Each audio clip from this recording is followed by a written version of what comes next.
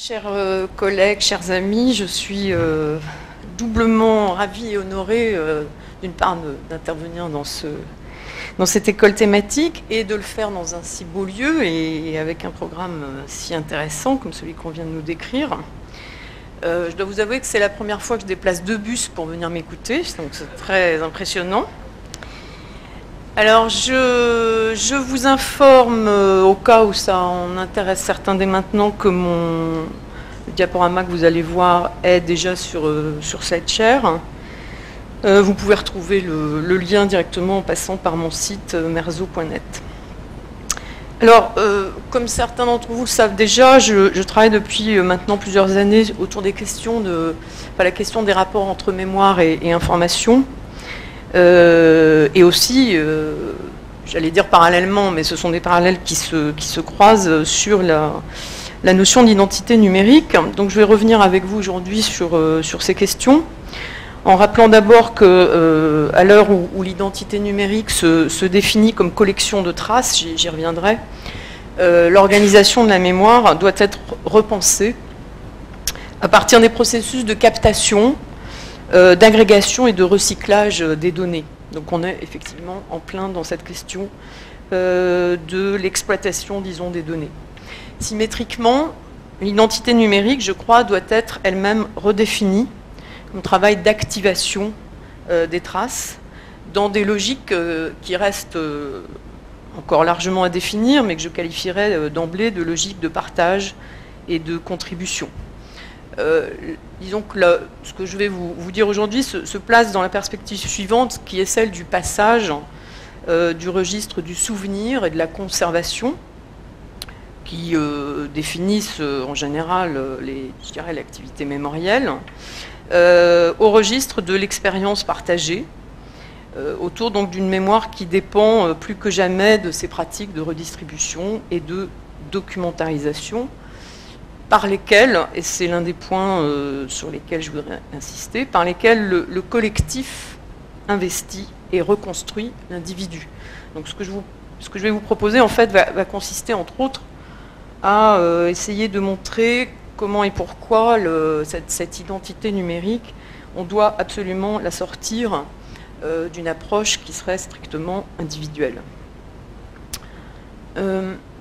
Je, commence d'abord par un, postulat, parce que bon, je n'ai pas le temps évidemment de, revenir sur tout ce qu'il faudrait embrasser pour, euh, aborder cette question. Donc simplement rappeler que euh, je pars euh, d'une hypothèse, mais enfin que j'ai déjà largement explorée, qui est, qui, est, résumée par cette formule que j'ai proposée il y a déjà plusieurs années. on ne peut pas ne pas laisser de traces. Euh, c'est-à-dire qu'on se place dans, euh, dans, cet environnement numérique, euh, dans un environnement où on est face à une sorte de mémoire par défaut. Alors évidemment, je vais, je vais, y revenir, on va voir que cette mémoire par défaut n'en est certainement pas une, mais en tout cas, on est dans le, dans le régime du par défaut. et l'une des difficultés, c'est que souvent, autour de ces questions, notamment de privacy, euh, la critique qu'on fait de, la traçabilité numérique est souvent limitée euh, au fait qu'on euh, redoute la conservation de traces gênantes ou sujettes à caution. Hein. donc on est dans l'idée du tri, c'est-à-dire qu'on voudrait pouvoir mettre de côté certaines traces, en effacer certaines, etc. Or, le problème, je pense, n'est pas du tout que euh, des informations euh, déplaisantes pour toutes sortes de raisons euh, puissent être enregistrées. Le problème, c'est que, précisément, on ne peut pas ne pas laisser de traces, c'est-à-dire que cet enregistrement, ce, traçage, se fait par le biais d'une mémoire que je qualifierais de procédurale, qui est une mémoire qui consigne nos comportements, au moment même où ils s'effectuent, nos comportements numériques bien sûr, euh, et que cette mémoire, très particulière, il faudrait mettre beaucoup de guillemets ici, euh, est en passe de se substituer à toute mémoire cognitive et politique. Et je pense donc qu'il y a effectivement urgence. Euh, urgence à poser cette question qui, bon, n'est pas totalement nouvelle non plus, je ne vais pas le prétendre, mais qui tarde quand même à être vraiment posée Il y a énormément de choses, vous êtes bien placé pour le savoir, autour, beaucoup de discussions, de production d'écrits, donc autour de ces questions à la fois de privacy, d'identité numérique, de partage, de réseau, et ainsi de suite. Et la mémoire, n'est pratiquement jamais, euh, la question de la mémoire n'est pratiquement jamais posée dans ces considérations par quelques rares chercheurs.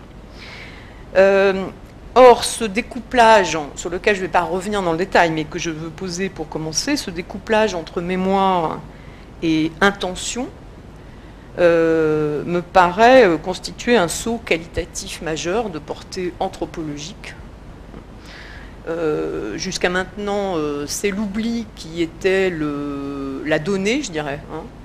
l'étant donné, le, le, point de départ. Il y avait d'abord l'oubli, le risque d'oubli, enfin, mais qui était plus qu'un risque, était en fait une certitude, par la finitude et de l'être humain et du temps humain, même, considéré sur, dans des échelles collectives. Et donc tout ce qu'on pensait et tout ce qu'on fabriquait était construit pour gagner un peu sur cet oubli pour grignoter des morceaux qui allaient euh, perdurer. Aujourd'hui, je pense que c'est l'inverse. Euh, donc tout s'enregistre et euh, on voit bien récemment, en ce moment même, que nos sociétés connectées, nos sociétés numérisées, commencent à, comprendre, avec un certain désarroi, pour ne pas dire une certaine panique, euh, qu'il faut réinventer euh, tout l'équilibre entre, oubli et mémoire. Il faut maintenant, c'est l'oubli qui, réclame euh, des dispositifs, des dépenses, des politiques, des réglementations juridiques, etc. Et vous avez bien sûr tous entendu parler des différentes versions d'ailleurs du droit à l'oubli qui est réclamé par, par nos sociétés. Alors, je parlais aussi tout à l'heure donc, de mémoire par défaut, c'est extrêmement important, je pense, ce point. Hein. Euh, on, est dans un univers de choix infini, et dans cet univers de choix infini, ben, forcément, euh, on va euh, déboucher finalement sur le pouvoir écrasant qui, appartient au choix par défaut. Hein. Nous savons tous que, en tant qu'internaute lambda, hein, notamment, le système va va se substituer. Nous allons déléguer énormément au système euh, un grand nombre de, nos choix, soit parce que justement il y en a trop à faire, soit parce que, enfin c'est les deux en même temps, euh, les systèmes bien sûr euh, le font à la limite mieux que nous, puisqu'ils nous connaissent, etc. J'y reviendrai un petit peu tout à l'heure. Donc ça c'est le, disons que c'est mon, point de départ que j'ai déjà un peu décrit ailleurs. Alors je commence par euh, cette, euh, cette idée du, hub mémorial, c'est-à-dire essayons de repenser l'identité numérique comme un hub mémoriel autour euh, des entrées que vous voyez là sur la diapo, que je vais prendre successivement, collection, aménagement, dépossession, indexation.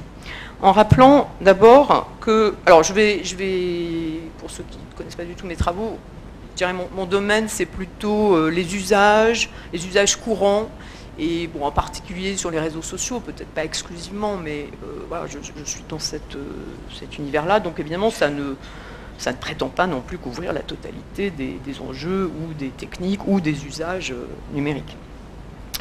Donc je le disais, peut-être une chose à rappeler pour commencer, c'est le fait que les sites de réseautage sont d'abord des lieux de stockage.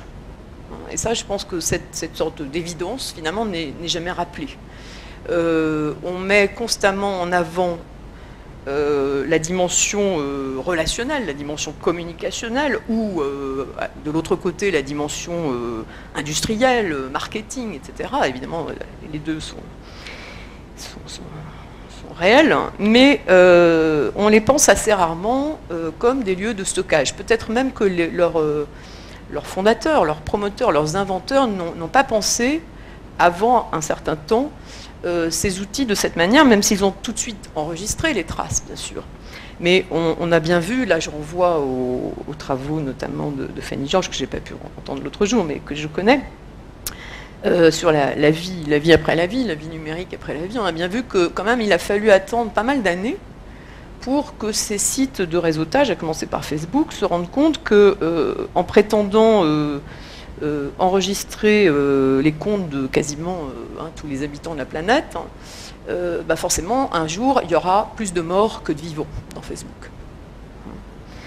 Et ça, si vous voulez, bah, une, si on est anthropologue, c'est la première chose à laquelle on pense, par exemple, hein, je crois. Euh, mais euh, apparemment, les gens de la Silicon Valley n'ont pas tout de suite pensé à ça. Et donc ça, je trouve c'est un, symptôme intéressant d'une espèce d'oubli de la dimension temporelle et donc par voie de conséquence mémorielle et, du très long terme, quoi. Enfin, du très long. Rien que la vie d'un homme déjà.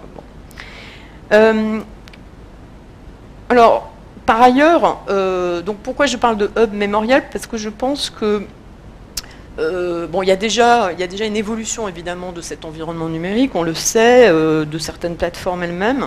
Et je pense qu'il faut passer, ou enfin on est passé, euh, d'un paradigme du robinet qui était souvent employé, hein, avec bon, la, mise en avant du flux, quoi, hein, du flux des données qui coulent sans arrêt, qu'on ne peut pas arrêter, où il n'y a jamais de, de trou, de temps mort, et, surtout pas de profondeur finalement, hein, on n'est qu'à la surface du flux. Euh, et je pense qu'à cette image euh, d'un flux qui s'écoule sans laisser de traces, c'était quand même la grande idée au début. Du, rappelez-vous quand même, euh, c'est pas si loin, je pense qu'au début de ce qu'on appelait les autoroutes de l'information, ce qui était souvent stigmatisé dans l'univers numérique, c'était que ça ne laissait pas de traces. évidemment, aujourd'hui, on a complètement inversé le, point de vue. Euh, et au contraire, je crois qu'on se substitue à cette image du, flux ou du robinet euh, le paradigme de la connexion. Hein, la connexion, donc plutôt le hub. Euh, l'identité numérique, on peut la définir à ce stade comme un, bouquet de connectiques, comme celui que vous voyez là, où chaque branchement mémorise des actions et des relations.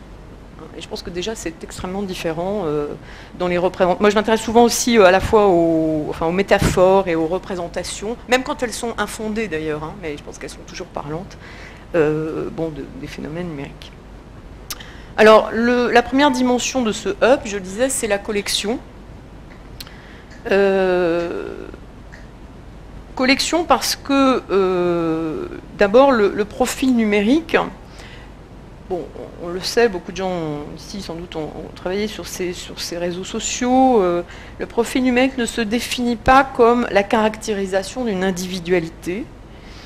Euh, on n'est pas dans des récits de vie, on n'est pas dans le journal intime, même lorsqu'il y a de l'intimité. Euh, on est dans l'externalisation de liens vers des contenus, des lieux, des objets, d'autres profils, etc. Donc c'est une sorte de retournement, euh, c'est comme un gant retourné. Hein, c'est une image surréaliste que je trouve très belle. C'est un gant retourné, le profil. Évidemment, on a beaucoup là aussi insisté sur le côté égo-centré, mais en fait, cet égo-là, il est, il est retourné. Hein. c'est un bouquet de liens. Alors, je le disais au tout début, euh, et là, bien sûr, beaucoup d'autres l'ont dit avec ou avant moi, l'identité numérique, à ce titre, pourrait être définie comme une collection de traces. Euh, les traces laissées par nos connexions, nos requêtes, nos téléchargements, nos géolocalisations, nos achats, mais aussi, euh, bien sûr, les contenus que nous produisons, mais aussi les contenus que nous copions, que nous likons, que nous collectons, etc. Alors, on, voit là qu'on est déjà dans une situation particulière, dans un objet un peu non identifié, puisqu'on a affaire à des collections qui collectionnent. Hein, l'identité numérique, l'usager numérique, voilà, c'est lui-même une collection, parce qu'il est défini par voilà, ces, sommes, mais toute la question est là, est-ce que ça fait une somme? Comment additionner ces traces, comment, comment les agréger? En, tout cas, euh, une multiplicité de traces et puis lui-même, hein, euh, finalement, être un, internaute euh, bon, ayant euh, quelques comptes ici ou là, c'est-à-dire finalement n'importe quel internaute aujourd'hui, je pense, eh bien, lui-même, c'est un collectionneur. Il passe son temps hein, à, faire des collections. Plus ou moins, bien sûr, élaborées, structurées, indexées, centralisées, mais il collectionne. Donc on n'est plus du tout dans l'émanation irréductible d'un moi, mais dans un hub de signaux qui appelle euh, des reprises, des reconnaissances, des affinités, donc toujours à démultiplier les liens. Se présenter, euh, c'est finalement souvent, dans cet univers, c'est présenter sa cueillette, présenter le territoire où, l'on chasse, c'est-à-dire où l'on a soi-même prélevé des choses. penser notamment à un, objet, une situation qui, m'intéresse particulièrement, qui sont ce que j'appelle les pêle-mêles numériques, comme par exemple les Pinterest, enfin la plateforme Pinterest, ou d'autres, hein, bien sûr, il y en a beaucoup d'autres. Euh, voilà, ces, stades de, bon, qu'on peut qualifier de curation, mais disons que là, ce qui m'intéresse, c'est moins le, éventuellement la production informationnelle qui peut en, émaner, mais c'est vraiment l'idée d'abord de la cueillette, qui peut s'arrêter là. Je veux dire, c'est juste, je me balade sur le web, je trouve des images qui me plaisent pour une raison ou pour une autre, j'ai tel centre d'intérêt ou tel... Je, cueille et je vais le mettre sur mon panneau, sur mon board. Hein, je reparlerai des, boards. Euh, et, c'est ça qui me définit.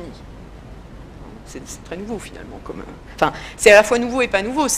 donc à la fois ça reprend euh, les pêle-mêles, donc c'est pour ça que j'emploie ce terme qu'on a chez nous, ou, les, trucs qu'on colle sur notre frigo, ou sur, notre, sur le mur de notre bureau, ou même sur notre ordinateur, si on a encore un vieux, PC à la maison. donc on est dans le prolongement de ça, et je pense que c'est très important de toujours ancrer sur des pratiques anciennes, et puis évidemment, ça fonctionne très différemment, on le sait, puisqu'on est dans ces, automatismes numériques.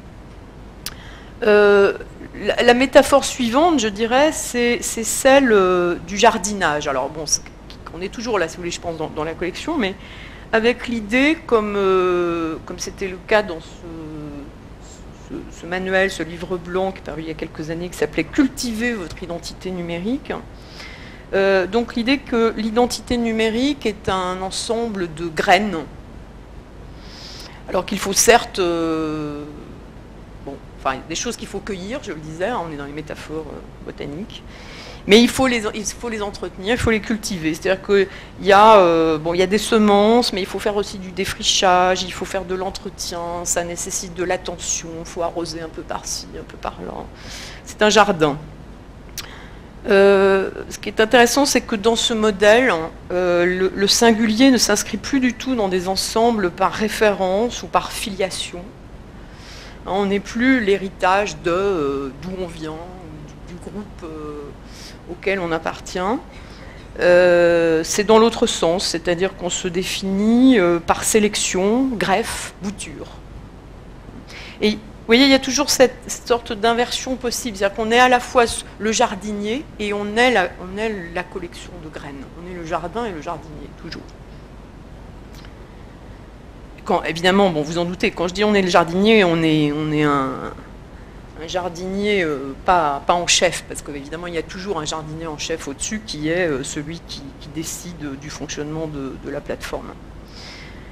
Euh, en tout cas, on, peut, voir la, diffusion aussi dans les discours, dans les représentations, dans les, petites images aussi qui cherchent à, symboliser des, notions abstraites qui, courent sur le web. On peut voir donc cette image d'une sorte de réseau potager rempli de graines d'informations que chacun entretient en, les cultivant. L'imagerie à la fois maritime et de la connexion évidemment reste très présente, euh, au sens où euh, on peut aussi parler d'une identité euh, parce que, disons, tout ce travail de, collection ou de jardinage, il, doit, ne jamais s'arrêter. Hein. L'identité numérique n'a d'existence que si l'usager reste actif. Je reviendrai là aussi bien sûr sur cette idée d'actif ou désactivé. Euh, donc on peut aussi voir euh, l'internaute à ce niveau-là comme un sillage. Euh, c'est-à-dire qu'il se rend visible par ses déplacements d'un point à un autre hein, sur, sur le web. et évidemment, bon là j'insiste pas parce que ça c'est davantage commenté, bon, c'est toute cette, à la fois cette, euh, cette technologie, cette, euh, cet appareillage et aussi cette terminologie de la timeline, du newsfeed. Donc là, au contraire, on est dans effectivement ce qui, ce qui ne s'arrête jamais, ce qui, ce qui se déroule euh, sans fin. Ce qui m'intéresse là-dedans, c'est d'inciter sur le fait que les interfaces qui fonctionnent de cette manière, et on sait que ça devient le standard hein, de absolument tous les, lieux sur le web, même au-delà des seuls réseaux, enfin des sites de réseautage. cette interface de, la timeline, en fait, c'est une, minuscule fenêtre, une sorte de Judas ou de périscope hein, par lequel on, voit, on a une vue extrêmement partielle hein, sur un tout petit espace toute petite fraction d'espace et de temps. Donc, et, ça, c'est pareil, c'est peut-être un point sur lequel on insiste rarement. C'est-à-dire qu'on insiste sur la, dimension euh, à la fois euh, flux, immédiateté, vitesse, le fait d'être tout le temps, tout le temps connecté, d'avoir tout le temps la dernière nouvelle. Mais on n'insiste pas sur le fait que c'est une vue très, très, très, très, très étroite. C'est euh, c'est pas du tout un panoptique. On sait bien que, bon, pour ne prendre que l'exemple de Facebook, euh, la, plateforme elle-même, évidemment, sélectionne en fonction de votre profil ce qu'elle va propulser dans, cette, euh, dans, dans, ce fil. Et donc, on ne voit toujours qu'un infime fragment. Euh, le point suivant que je voudrais développer, c'est autour de la thématique de l'aménagement, enfin aménagement, emménagement, déménagement. dans la mesure où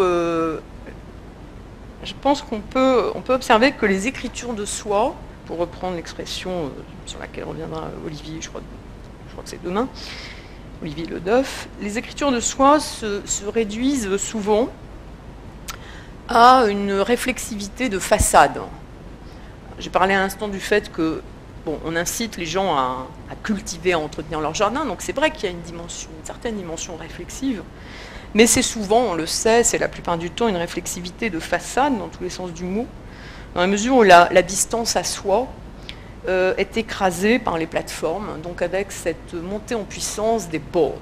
Hein, je pense que, bon, on peut dire plateau peut-être, euh, pour reprendre d'ailleurs un, terme qui a été euh, théorisé de manière très intéressante par Deleuze et Gattari, qui évidemment ne parlait pas des réseaux sociaux, mais on peut y trouver là des, description peut-être transposable. Euh, on est dans, la façade, le mur, hein, le mur, le, plateau, le board.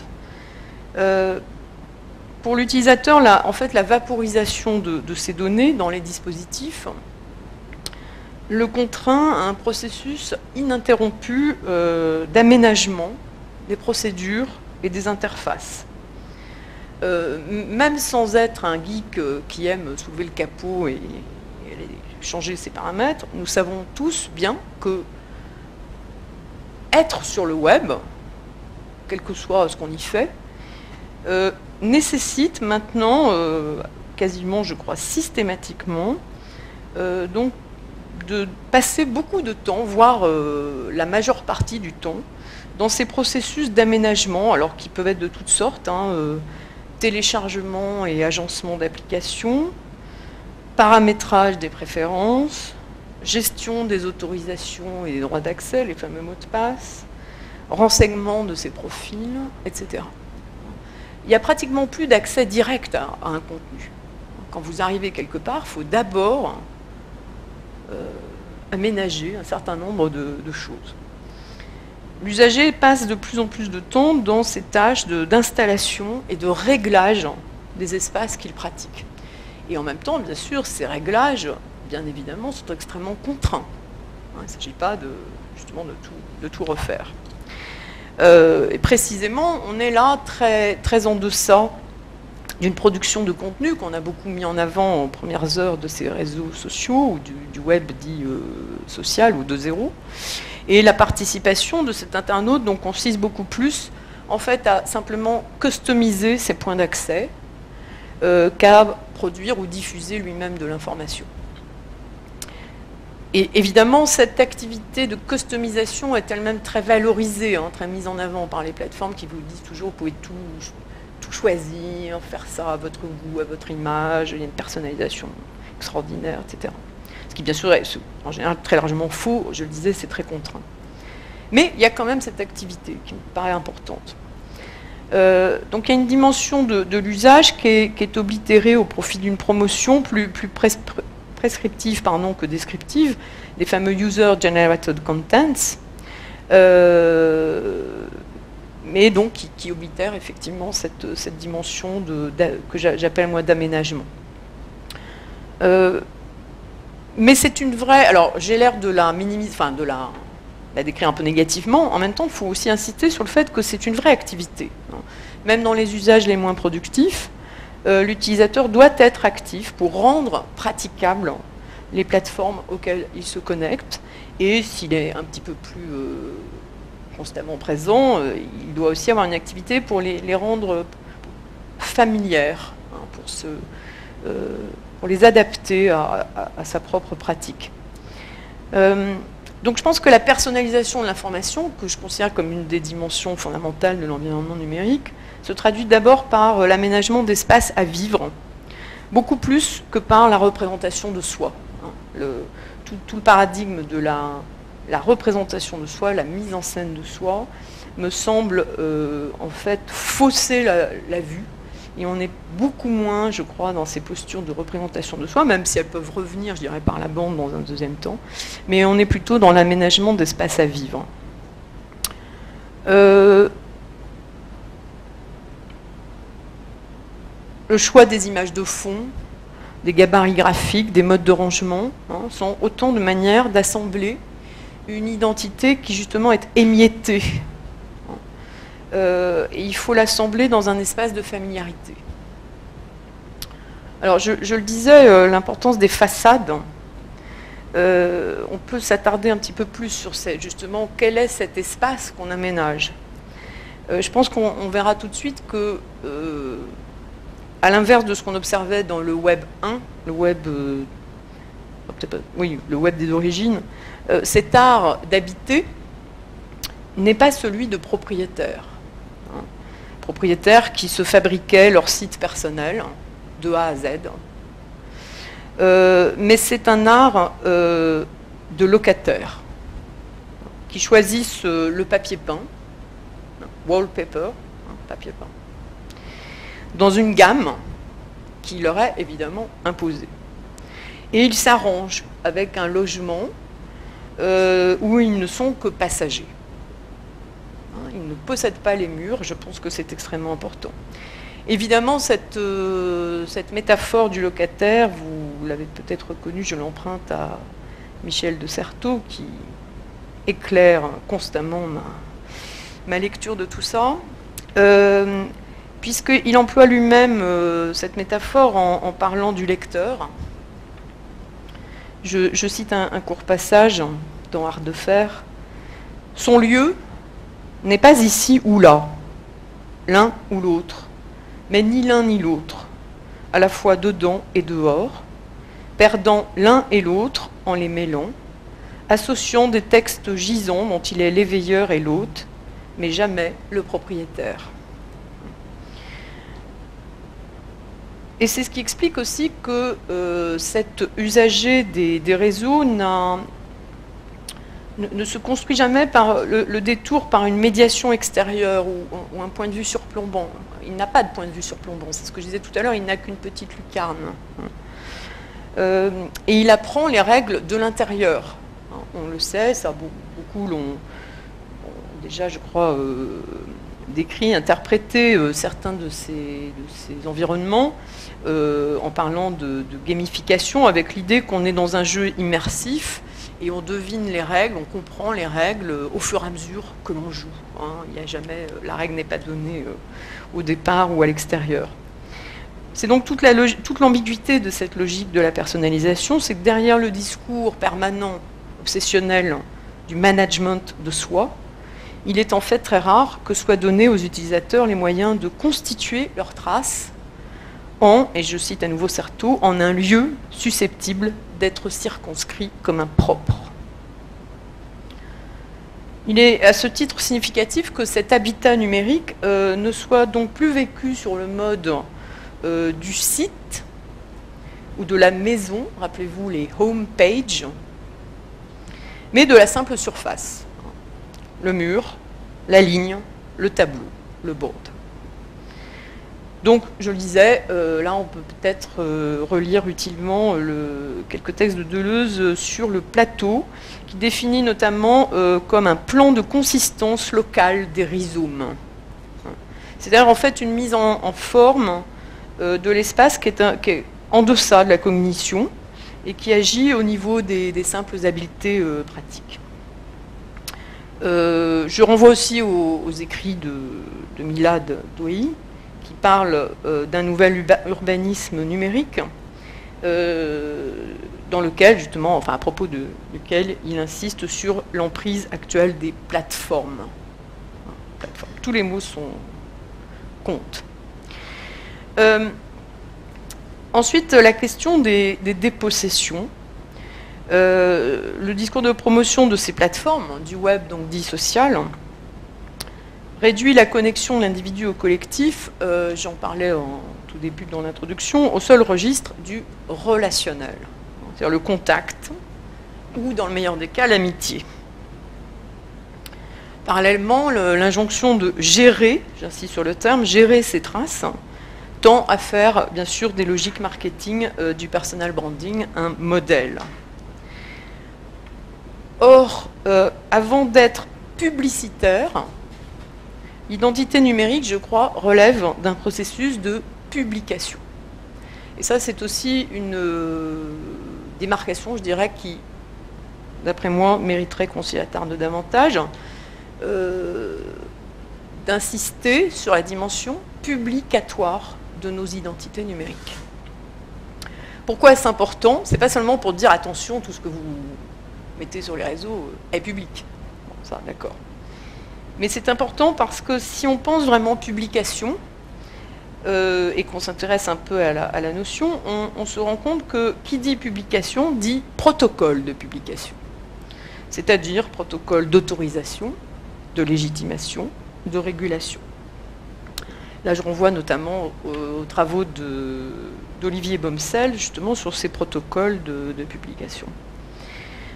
Et bien sûr, euh, bon, tout ça relève peut-être d'évidence, mais il y en a certaines qui méritent sans doute d'être euh, davantage explicité, euh, on comprend à ce moment-là, on, voit clairement que les protocoles de publication sont évidemment aujourd'hui confisqués par euh, les acteurs que nous connaissons bien, qui s'appellent Google, Facebook et consorts, et qui ont toute autorité pour éditer et rendre nos traces publiques. Donc à la fois on le sait, mais vous voyez, je pense que c'est rarement tout simplement dit comme ça. Euh, donc la, personnalisation de l'information, où tout est personnel et tout est publié, ce qui évidemment est une situation totalement inédite, euh, a jusqu'à maintenant été comprise plutôt comme désintermédiation. Hein. C'est souvent ce qui revient, enfin bon, bien évidemment pas chez ceux qui travaillent vraiment sur ces objets de manière un peu sérieuse, mais c'est quand même une représentation qui reste assez dominante l'idée du direct, l'idée exprimez-vous directement, euh, voilà, ou soyez en contact direct avec un tel, sans, apprentissage, sans connaissance, sans détour, sans être, sans devoir passer justement par euh, la validation d'un comité de rédaction, etc. Donc on met toujours en avant la désintermédiation. Lorsqu'on revient au contraire sur la publication, lorsqu'on réfléchit sur les protocoles de publication, on voit bien évidemment au contraire euh, que cet environnement, cette personnalisation de l'information, il faudrait la penser au contraire comme une sorte de méta-protocole euh, qui transcende chacune de nos inscriptions individuelles. En fait, c'est presque le contraire, c'est qu'on ne peut plus rien euh, exprimer, envoyer, communiquer de façon désintermédiée. C'est exactement le contraire qui se, passe. Alors bien sûr, ces protocoles de, publication sont aussi ceux qui vont déterminer la mémorisation, c'est quasiment la même chose. Et donc, euh, ils font de, la mémoire, euh, je vais me rapprocher de ces questions de mémorielles, ils font de la mémoire un, bien rival euh, dans la concurrence des attentions et des indexations, puisque bien sûr, ces plateformes, ces autorités publicatoires sont elles-mêmes, bien sûr, en concurrence les unes avec les autres. donc, c'est pour ça que je place tout, ce, tout ce petit chapitre sous, le, terme de dépossession, parce que bien sûr, cette mémoire par défaut que je décrivais tout à l'heure, c'est en fait euh, une perte de mémoire, une aliénation de nos euh, anamnèses, puisqu'encore une fois, cette mémoire, euh, en fait, nous la vivons comme désappropriation, comme donc construction de, biens rivaux. je donne juste un, exemple, mais bien sûr chacun pensera facilement peut-être à, d'autres exemples qui lui sont propres. un service, une plateforme qui s'appelait MemoLane, que je trouvais très intéressante, dont le principe était d'aller puiser dans justement euh, vos, collections de traces, y compris celles que vous-même euh, aviez un peu perdues de vue, hein. Donc sur le réseau, etc. Et puis euh, vous proposait une sorte de d'anamnèse, d'album, voilà, on allait, on allait, extraire pardon, des, traces, puis on vous les reproposait avec bon, une mise en scène, une sorte de scénarisation. C'était assez intéressant. Enfin, je ne vais pas m'attarder sur le service lui-même, mais ce qui est intéressant, bien sûr, c'est que c'était l'un des services, il y, en, a eu beaucoup d'autres, hein.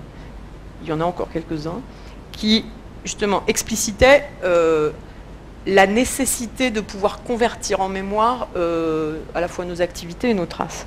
Eh bien, euh, ce que vous voyez là, je ne sais pas si c'est visible, oui quand même, c'est un petit peu flou, bah, c'est ce qui a été publié donc, sur le blog de, cette plateforme, de ce service, euh, il y a quelques mois, je ne sais pas comment c'était, euh, bah, le jour où la plateforme a bien sûr été rachetée par une autre, et donc euh, tout s'est arrêté, et on vous envoie un petit mail, bon là c'est sur le blog, mais on recevait quand même un mail en disant, bah, voilà, on a été très heureux de partager avec vous du temps, etc., mais tout s'arrête, et donc votre compte est fermé. Donc, vous voyez, à la fois on vous offre, on prétend vous offrir un peu de réappropriation mémorielle. Et puis bien sûr, après, euh, on s'aperçoit que c'est très superficiel et que cette réappropriation elle-même, encore une fois, elle est dans la logique des, biens rivaux.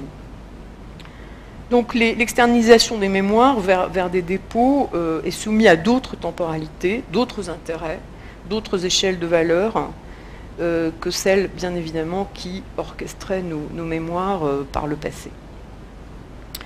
Le, dernier volet de ce premier chapitre sur les hubs mémoriels, c'est ce que j'appelle, ce que j'ai appelé là les indexations.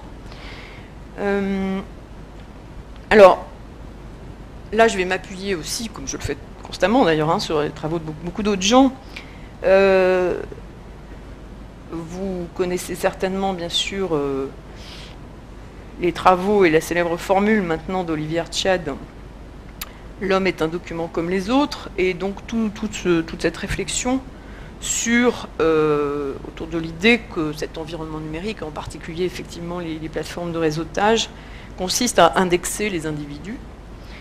Euh, et au-delà, l'idée euh, que le, web tout entier a, a, traversé en fait plusieurs modèles et modalités d'organisation, de classement des informations, euh, avec, je simplifie à l'extrême, mais en gros un mouvement qui passe de l'indexation des pages ou des contenus ou des documents à l'indexation des individus.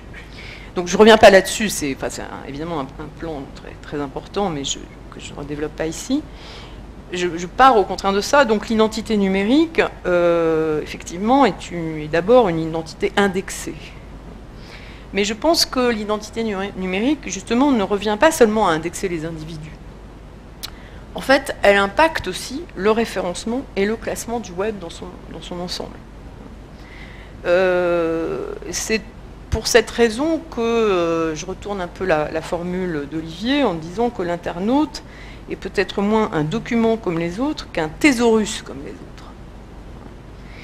Euh, alors, je, vais le, décrire un peu plus dans le détail avec quelques, en arrêtant sur quelques exemples.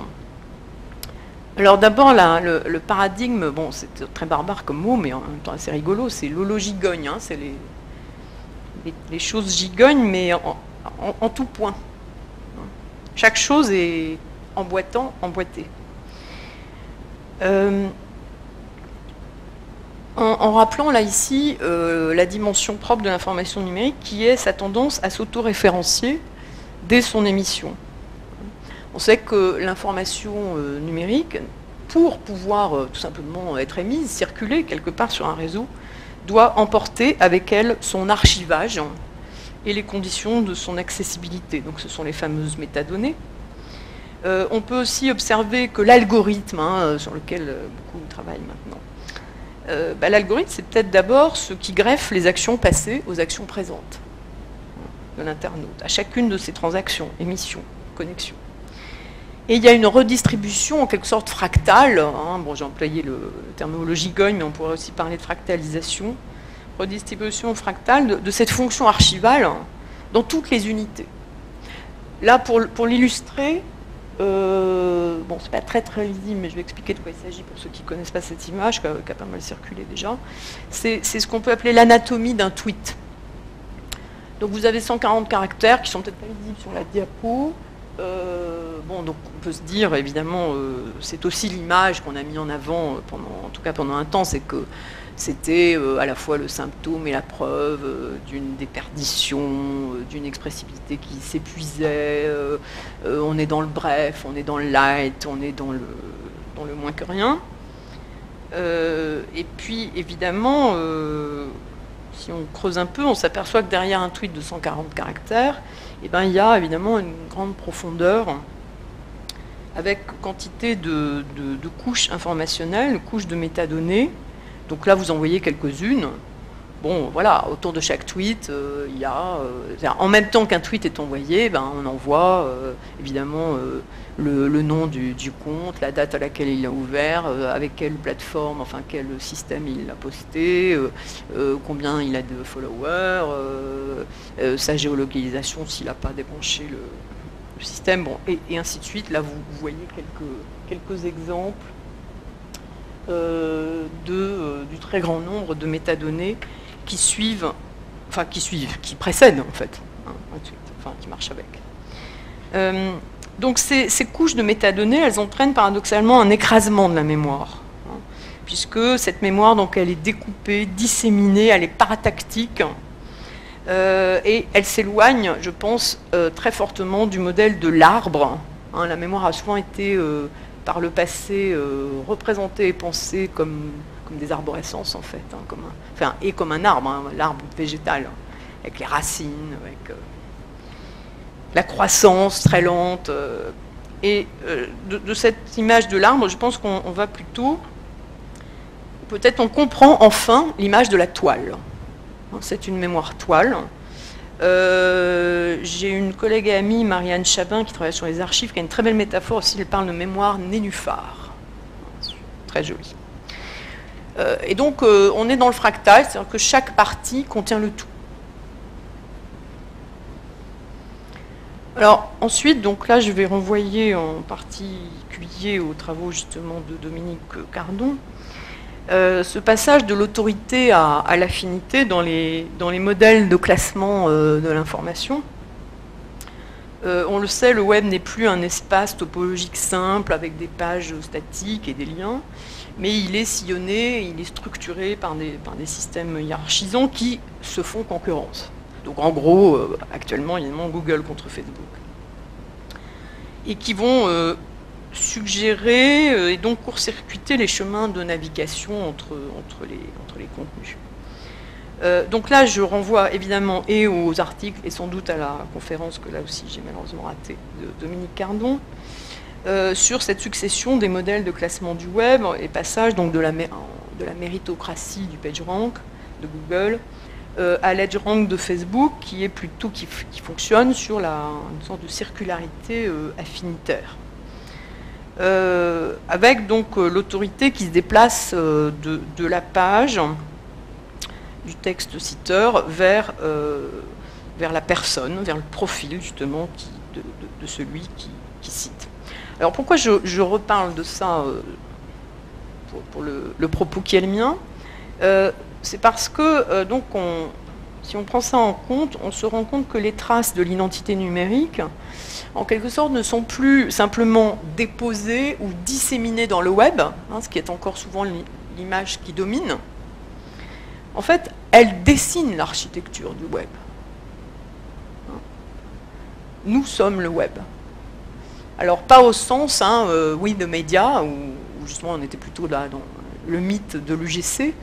Euh, nous sommes le web parce que, encore une fois, de plus en plus, euh, l'organisation même, le classement, l'accessibilité, l'administration de l'accessibilité euh, se fait de plus en plus sur justement, enfin à partir de nos traces personnelles, de nos réseaux affinitaires, de, toute la, logique et l'économie de la recommandation, et ainsi de suite.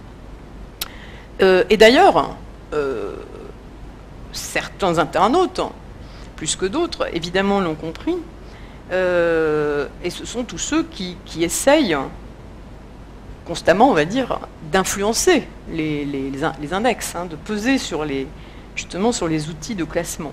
Donc il y a cette lutte permanente entre les outils de mesure et les internautes euh, stratèges, euh, qui montre bien que nous sommes la matière même du, web. En fait, tous ces systèmes de mise en visibilité de soi, c'est-à-dire ce qu'on nous invite fortement et constamment à faire, mettez-vous en scène, mettez, vos données, complétez votre profil, euh, etc., rentrez votre carnet d'adresse et ainsi de suite, eh bien finalement ces systèmes de mise en, visibilité de soi, euh, évidemment, ils, pervertissent, entre guillemets, euh, bah, les principes d'objectivité et d'extériorité qui étaient à l'origine, donc ça c'est ce que montre très bien Dominique, à l'origine du PageRank idéal, on va dire. Hein plus on, intervient soi-même, plus on essaie bah, de, se créer cette fameuse irréputation, hein, plus en fait euh, on, cherche à déformer hein, une vue qui se prétendait, elle au contraire, une sorte de vue plus, neutre, plus objective, où il y avait certes de la méritocratie, mais justement une méritocratie qui devait euh, émerger, euh, on va dire presque naturellement, les fameux liens naturels. Ça s'appelle naturel quand même. Là aussi, le mot est intéressant. Euh, donc ça, ça me semble aussi intéressant. On voit encore cette espèce de mouvement de retournement. Nous ne sommes plus euh, dans le web ou, euh, même, voyez, surveillés, enfin, ou tracés dans le web. C'est nous qui faisons la structure du web. Évidemment, très, de manière souvent, enfin, très non intentionnelle en, partie. Alors, on arrive comme ça à, l'entity graph. Hein, vous savez, le, nouveau système de, Alors, il y a le Knowledge Graph euh, de Google et l'Entity Graph de Facebook, euh, qui nous montre que, si vous voulez, c'est ça que j'essaie de décrire, c'est que je pense que là, on est en train de franchir euh, une étape encore supplémentaire. on a beaucoup, bien sûr, glosé sur le décloisonnement entre l'intime et le public. Et en fait, je pense qu'aujourd'hui, il faut comprendre que ce décloisonnement, doit être lu comme un décloisonnement entre l'intersubjectif et le documentaire, ou entre la communication et l'information. Bon, c'est peut-être moins propos de le dire comme ça, mais c'est un peu ça aussi. Euh, c'est-à-dire que nos singularités subjectives sont converties en entités de connaissances, hein, les fameuses entities. Euh, on avait un graphe social où la personne était pensée comme, euh, comme un répertoire, en fait, un carnet d'adresses. Donc ça, c'est le, début, quoi, l'offensive de Facebook. Mais aujourd'hui, les, deux grands acteurs reviennent vers un, knowledge graph. Euh, et c'est là où on voit la personne thésaurus. On n'est plus seulement une personne euh, carnet d'adresse, on est une personne thésaurus, une personne qui va servir à indexer le monde. Et en particulier, donc avec le graph search de, Facebook, euh, bon, évidemment, il cherche à remplacer l'index de Google, par un, graphe social, mais surtout donc il utilise les internautes pour cataloguer le monde, explicitement. Hein. euh, euh, donc avec nos photos, nos localisations, les titres de livres, le nom des personnages dans une série ou un film, ou que sais-je, euh, il y a un appel permanent aux internautes pour qu'ils documentarisent le monde. et, ces, entités, ces graph entities, sont des entités donc, qui vont être ensuite extraites de nos pages Facebook celles des individus comme celles des entreprises, euh, pour constituer donc une sorte de, aussi métathésaurus. Euh, on voit par exemple plus concrètement sur les pages des lieux comme des musées, comme des magasins, etc. Ben, il, y a un, appel explicite, hein, proposer une édition, donc, où les internautes sont invités à préciser, euh, donner le numéro de téléphone, les horaires d'ouverture, enfin n'importe quoi, changer l'adresse. Bon. Et on s'aperçoit que ça marche très bien parce que euh, les gens tiennent à ce que l'information sur les lieux auxquels ils sont attachés soit exacte. Donc leur lieu de naissance, leur lieu de vie, euh, leur lieu de travail, s'ils voient que c'est faux, ou c'est pas précis, ou c'est pas à jour, ils, vont corriger. Donc là, on est vraiment dans l'exploitation évidemment totale hein, du prolétaire numérique. Alors ce qui est intéressant, c'est que dans ce mouvement, en quelque sorte, on revient du robot, hein, le, petit robot que vous voyez tout à l'heure qui scrollait le web, vers, vers l'humain, c'est-à-dire vers Human Indexing Squad. Hein, c'est un des membres de Facebook qui utilisait cette expression. On revient aussi à ce que moi j'appelais il y a quelque temps déjà les métadonnées ordinaires, hein, c'est-à-dire celles que nous produisons sans trop le savoir, c'est un peu comme euh, la prose, hein, M. Jourdain, sans trop le vouloir en tout cas, les métadonnées que nous produisons dans nos conversations. On parle d'une série télé, de la musique d'une pub, n'importe quoi, en disant ah, tiens c'est quoi ça, ou qui jouait là-dedans. Et évidemment, ces métadonnées ordinaires se constituent un, une richesse euh, en termes de ressources considérable. Et donc là, il y a un enjeu aujourd'hui très clairement à les pouvoir les, récupérer, euh, évidemment, plus automatiquement.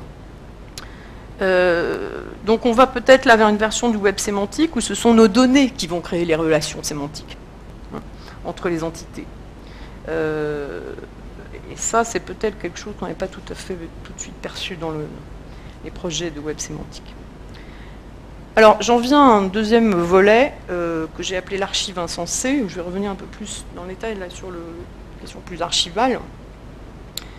Euh, donc en, rappelant que cet environnement que j'essaie de, décrire de, toutes sortes de façons le web est devenu à la fois archive et espace social, euh, ce qui là aussi en soi est quelque chose d'absolument inédit. Hein, l'archive n'a jamais été un espace social, euh, c'est inédit parce que donc là on est dans un lieu, si on peut parler lieu, euh, où les documents archivés sont constamment, en même temps qu'ils sont archivés, manipulés, déplacés, modifiés, échangés, réindexés, mis à jour, etc. Hein, donc il faudrait imaginer une archive où euh, il y a déjà plein de choses sur les rayonnages dans tous les sens, mais ces choses bougent, ou les rayons eux-mêmes bougent, ou on est vraiment dans une archive évidemment insensée. Alors justement, essayons d'entrer un peu plus dans le fonctionnement de ces archives, en s'attardant d'abord sur la question de la coordination. Euh, alors j'ai pas commenté à chaque fois les images, mais euh, j'aurais dû le faire parce que les signatures sont peut-être pas très lisibles. Peut-être juste un mot là sur celle-là. Je, me permets des emprunts à des, artistes, hein, donc euh, ça, c'est le, livre, le, disque dur de papier de David Guez. on en reparlera après, mais c'est un projet très intéressant. Où justement, il y a pas mal d'artistes qui reviennent comme ça du numérique vers le, vers matériel, en fait, vers le papier notamment, pour aller contre le côté un peu évanescent de l'archive numérique.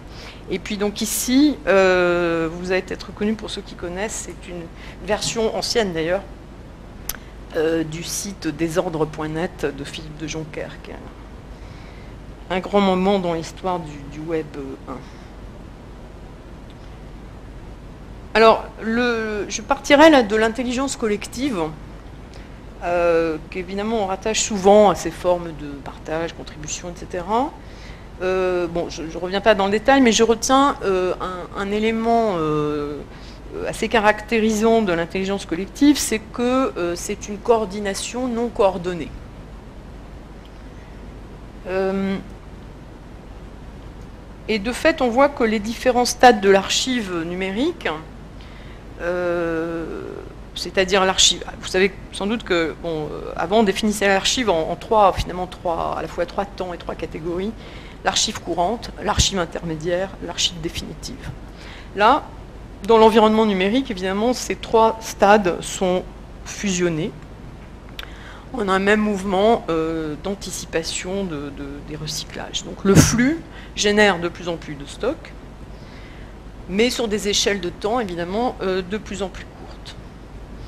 Donc la mémoire euh, que ça produit déborde de plus en plus euh, les lieux d'une gestion autorisée que, nous connaissions, que nous connaissons encore, mais qui évidemment euh, n'ont plus du tout ce monopole, c'est le moins qu'on puisse dire. Donc ces lieux, c'était le monument, l'école, la bibliothèque, le musée, l'église sans doute. Euh, et cette mémoire en réseau, donc, elle, engrange quantité de collections, je l'évoquais tout à l'heure, plus ou moins délibérées, plus ou moins structurées, plus ou moins documentées, plus ou moins reliées les unes avec les autres. Donc ce modèle du, pêle-mêle numérique, ces réseaux conversationnels, ces archives de blogs, ces caches de moteurs de recherche, vous que quel que soit le bout par lequel on le prend, soit dans les sous-couches techniques, soit dans les usages vraiment sociaux du web, partout ça stocke, ça archive, hein. ça constitue des, fonds. Chaque site exerce, et là je cite Derrida, son pouvoir de consignation et de sélection, hein, ce qui est directement le pouvoir même de l'archivage. Mais évidemment, tout ça donc, se fait sans aucune coordination. Euh, donc il y a multiplication des accessibilités aux dépens de toute coordination. Si ce n'est, bien sûr, toujours, euh, toujours eux, si ce n'est euh, la coordination orchestrée par les, plateformes et les bouquets de services comme Facebook et, Google. Là encore, on est évidemment dans un niveau plutôt méta que, bon, ils ne vont pas vous dire comment, enfin, qu'est-ce que vous devez collecter, ils vous laissent toute liberté, mais évidemment, c'est quand même eux qui coordonnent le process lui-même. Et bien sûr, cette coordination, c'est en ça qu'elle est nouvelle, elle s'opère dans une opacité totale. Euh, avec une restitution quasi nulle des effets euh, de cette coordination euh, pour les utilisateurs. je voudrais ensuite m'arrêter sur la question de la conservation, plus exactement sur la tension, voire la contradiction que certains ont mis en avant entre conservation et à la fois personnalisation et aussi protection euh, du coup de justement des, individus via protection de leurs données personnelles. Euh, effectivement, face aux, nombreux dérapages quand même qui ont déjà vu le jour, euh, qui résulte de cette traçabilité, de cette opacité de, ces plateformes, de cette finalement cette mémoire complètement à sens unique. un nombre croissant, vous le savez, de voix se sont élevées pour réclamer protection, sanction, suppression de données. Donc on a vu monter, après un devoir de mémoire, il y a quand même un renversement là aussi très symboliquement très fort, après le devoir de mémoire, on a vu réclamer le droit à l'oubli, euh, la société connectée euh, s'est rendue compte que cette mémoire intégrale qui semblait euh, répondre à son, son, désir le plus fou, hein, justement là aussi une sorte de désir anthropologique très, fou de pouvoir tout garder. Et puis quand elle s'est aperçue qu'enfin c'était possible, et eh bien évidemment c'est devenu le cauchemar. Hein, on est en plein Borges bien sûr. Donc on s'est mis à réclamer aux experts, alors soit techniques, soit juridiques, l'instauration d'un droit à l'oubli que, évidemment, la politique a enfourché ensuite le train en marche. Euh, alors bon, je passe sur les chartes incitant à mettre en place des dispositifs de révision, euh, les dates de péremption, euh, les, dispositifs d'effacement des traces, les soi-disant bons droits du citoyen de vérifier, de modifier, de retirer ces données, euh, et ainsi de suite, les procédures d'anonymisation. Bon là, enfin je mets tout en vrac évidemment, euh, tout, n'est pas au même plan, euh, tout n'a pas la même finalité, la même efficacité, ne répond pas aux mêmes besoins, mais bon là il y a tout un, ensemble de choses quand même qui ont beaucoup attiré, qui attirent beaucoup l'attention en ce moment. dans bien des cas, cependant, cette, volonté aujourd'hui de limiter la puissance de, l'hyperarchive, hein, qui, nous effraie, qui excède nos capacités non seulement de contrôle, mais aussi de représentation. Je pense qu'on ne peut plus se représenter cette mémoire. Euh, donc dans, bien des cas, cependant, cette, mémoire euh, continue d'être pensée en termes de stockage. Stockage de traces, donc en, termes d'archives au sens euh, pauvre, si vous voulez, du mot, plus que comme une médiation politique de portée anthropologique, ce qui est théoriquement ce, à quoi devrait, euh, ce en quoi devrait consister la mémoire. Euh, le rapport de la société aux traces qu'elle dépose est effectivement, à mon avis, encore très largement vidé euh, de sa vocation à, tisser du, lien social et de la transmission. Hein, observez un petit peu tous les débats, il y en a, vous le savez, aujourd'hui même, autour de ces questions de conservation des données personnelles. Euh, bah voilà, on parle de quelles traces on doit garder, euh, qui peut y accéder, euh, comment faire les tris, comment en effacer certaines, peut-on les détruire. On ne parle jamais de la transmission. très rarement. Alors là, je peux renvoyer, bon, je ne vais pas insister, mais euh, évidemment au débat justement très, très contemporain autour de la proposition de règlement européen publiée par la Commission européenne en janvier dernier, janvier 2012 je crois que c'était, euh, en vue d'établir un, futur cadre pour la protection de la vie privée et donc de revenir sur la, directive de 95 elle-même adossée à la fameuse loi informatique et liberté. Donc là, il y a un projet de refonte en profondeur, je vais parvenir sur le détail, qui couvre un peu tous les aspects, géolocalisation, puce RFID, biométrie, etc.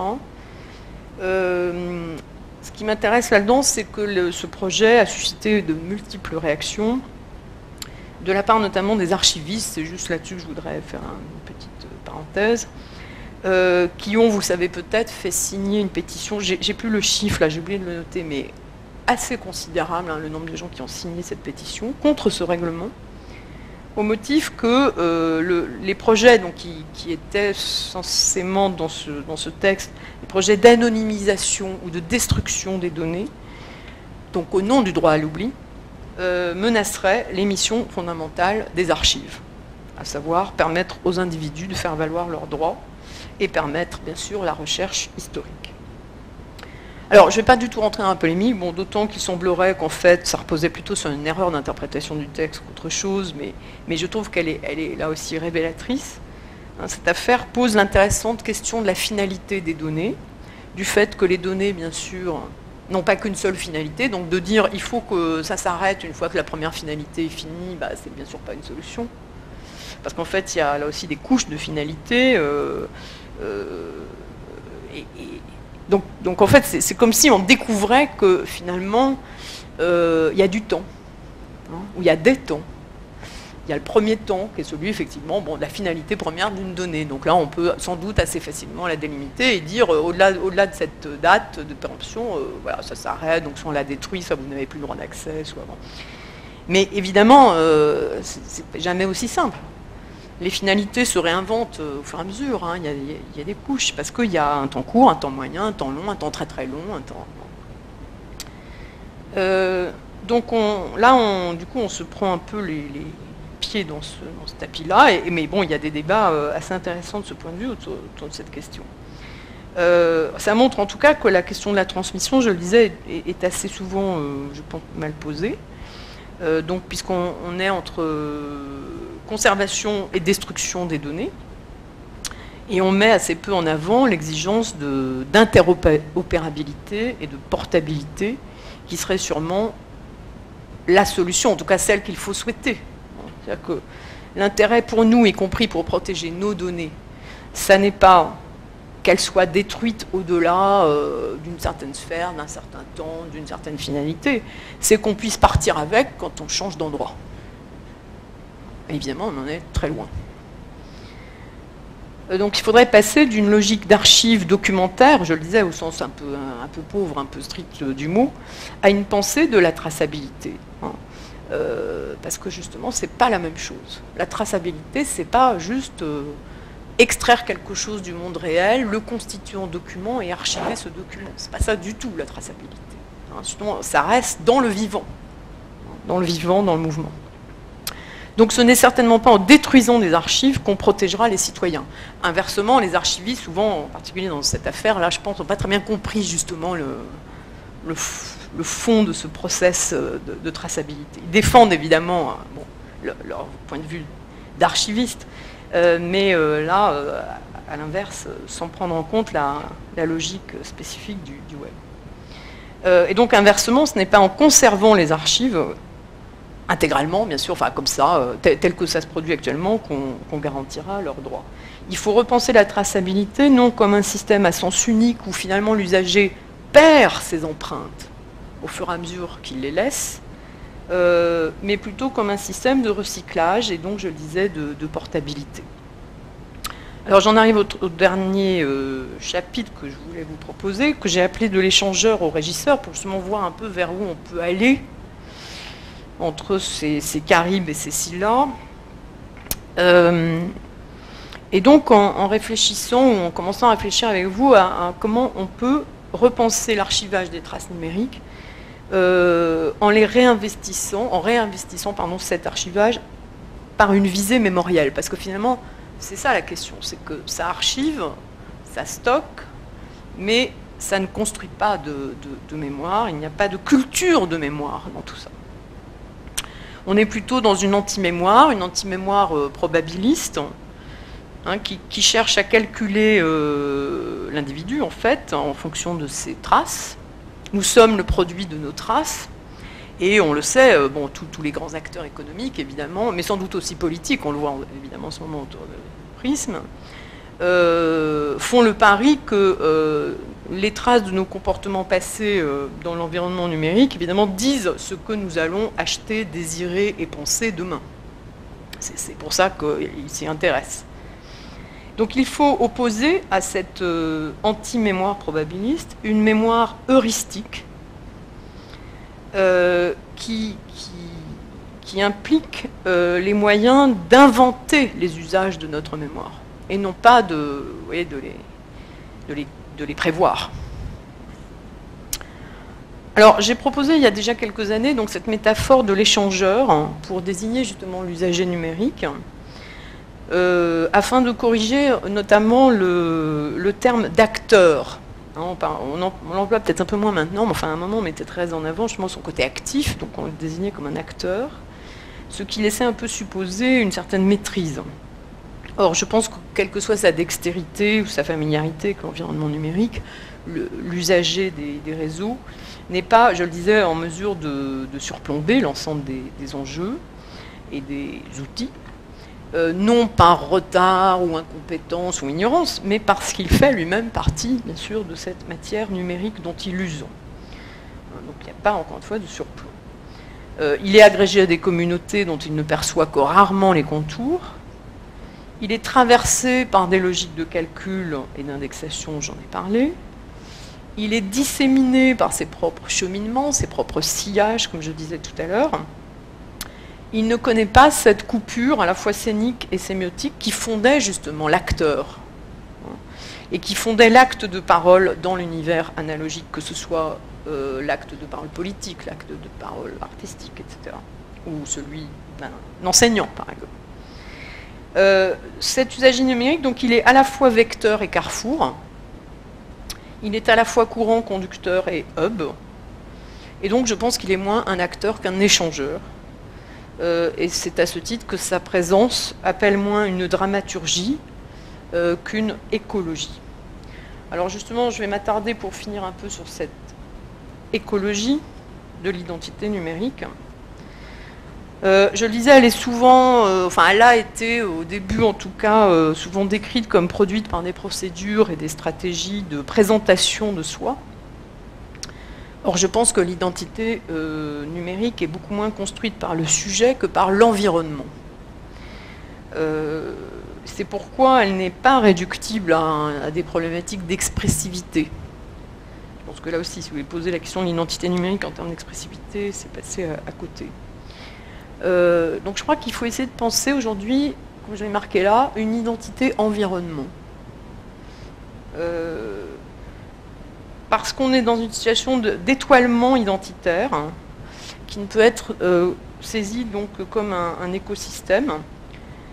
de fait, nos données, bon, qu'on cherche en ce moment, peut-être un peu plus qu'avant, à se réapproprier, à récupérer, à protéger, etc. Mais pour autant, les données d'un individu ne sont pas à elles-mêmes signifiantes.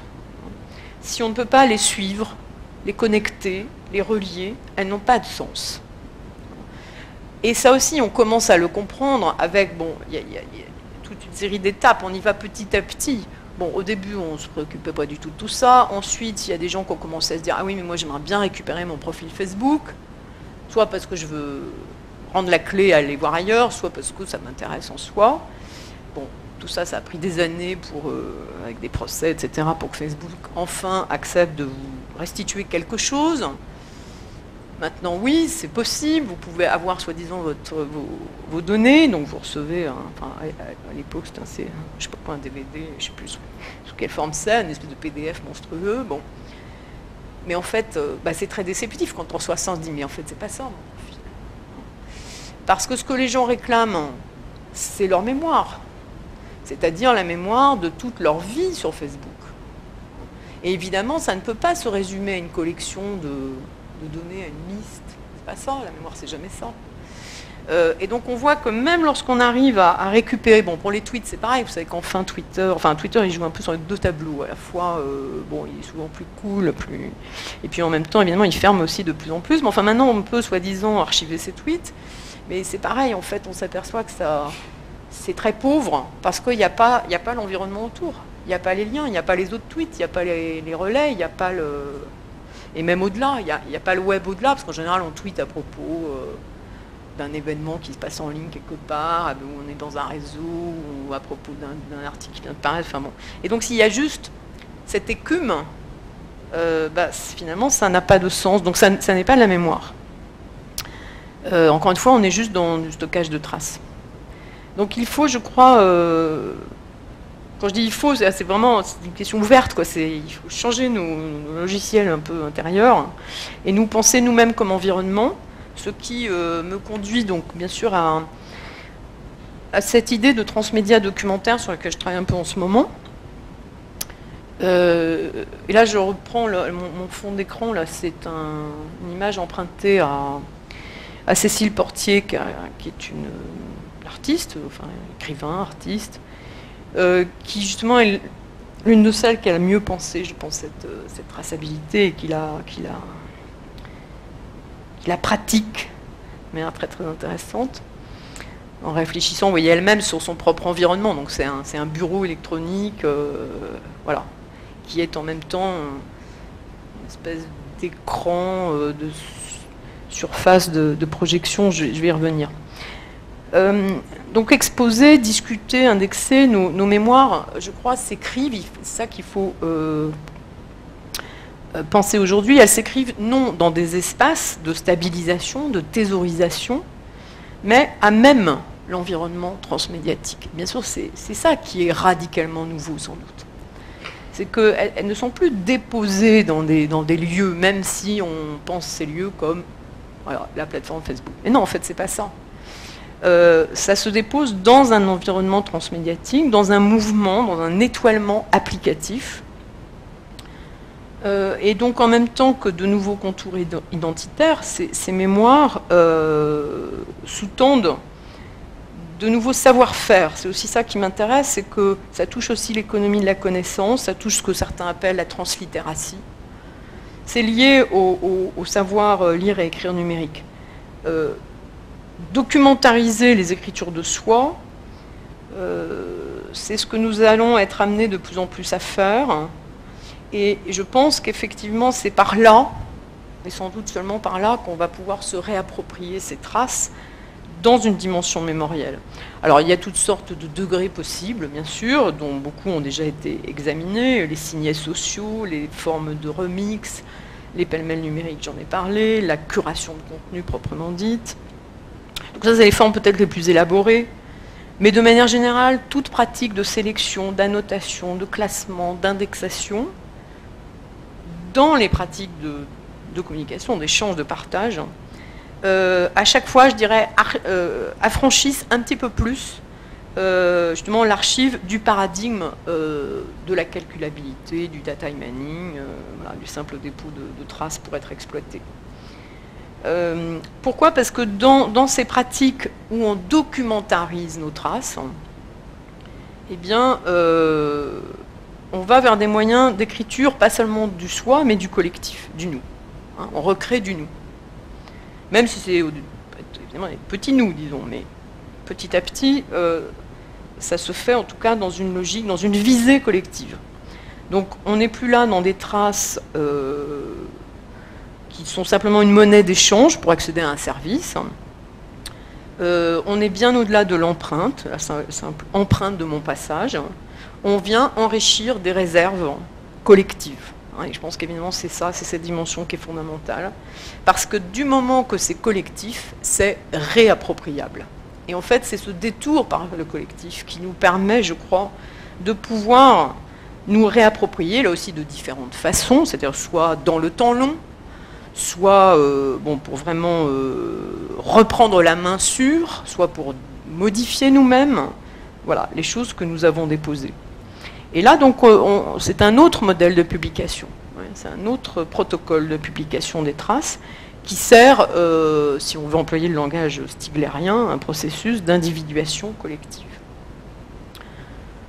Euh, on peut aussi le dire autrement en disant que ce qu'il faudrait valoriser aujourd'hui, c'est une logique de mapping contre les logiques de presse-bouton. Vous savez que maintenant tout se fait avec des presse-boutons, dont le modèle évidemment est le like, qui va d'ailleurs sans doute se décliner, hein, toutes sortes d'autres boutons un peu plus fins, mais bon, ça sera toujours des boutons. Et si vous voulez, le, bah là c'est le comble. Je parlais tout à l'heure de Judas ou de vue étroite. Bah là c'est encore plus étroit. qu'on a juste, on n'a même plus vraiment de choix parce que souvent il y a le like et pas le dislike. Et donc contre cette logique-là d'appauvrissement euh, extrême, hein, de dégradation de nos possibilités d'annotation, de commentaires, d'indexation, de, de pensée et donc à terme de mémorisation, il faut produire des outils, enfin il faut valoriser les outils qui, au contraire, permettent l'organisation des connaissances. Et notamment, à commencer par ceux qui permettent des, vues, des, représentations aussi. C'est pour ça que je parle de mapping. Euh, je crois que c'est de ce côté qu'il faut explorer les voies d'une réappropriation de nos mémoires. Alors j'en donne un exemple que je ne vais pas trop trop détailler, mais sur lequel je m'arrête euh, cinq minutes, euh, qui est un exemple sur lequel j'ai travaillé récemment, parce que bon, c'est peut-être un peu abstrait là ce que je raconte, donc j'en donne une illustration que j'emprunte donc aux, entretiens du Nouveau Monde industriel, donc vous connaissez peut-être qu'un grand raout qui a lieu tous les ans, je crois, euh, au centre Pompidou, avec, bon, le noyau dur c'est un colloque sur deux jours, euh, bon, avec une thématique chaque année, donc là, jusque-là, rien de très, très particulier. Ce qui m'intéresse euh, dans ce cas-là, c'est que euh, cette année, particulièrement, bon, il y avait eu déjà un petit peu d'avant-goût l'an dernier, mais surtout cette année, a été mis en place autour de cet événement intellectuel, un peu normal, on va dire, un dispositif justement transmédia que j'ai trouvé tout à fait passionnant et dans lequel je vois un modèle à, méditer. Alors je, le décris très vite. Euh, l'idée, alors c'était euh, c'était vraiment en parallèle du colloque. C'est pas vraiment les organisateurs du colloque, ça c'est aussi assez important. il y avait l'IRI, bien sûr, l'Institut de, recherche et d'innovation, mais il y avait aussi euh, bon, une enseignante avec deux groupes d'étudiants, dont un groupe d'étudiants de BTS. Donc je veux dire, c'était pas du tout forcément des gens très familiers de ce dont il était question dans ce colloque, hein, où il y avait bon, Stigler et compagnie, donc volet assez haut, en tout cas au niveau, euh, ne serait-ce que terminologique.